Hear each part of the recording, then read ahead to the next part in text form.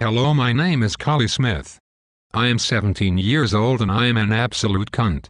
I finally got a football bet up last night. I am shit at them but I was due one thank fuck.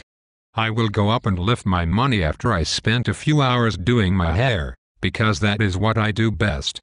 I love myself, I am glad that Arsenal have won six of their last seven games it's good to see them doing well. Quaff quaff 6-1. I am hoping me and my good friend Stuarty re get another football bet up because we both deserve it because we have spent a fortune on them. Oh well who gives a fuck, I'm a mad cunt and don't care what anyone thinks about me or my hair. This is my life story and you lot are boring me.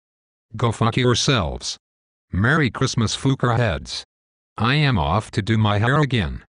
G'night and sick night bitches. P.S. I like football but Burnley, Burnley can fuck off.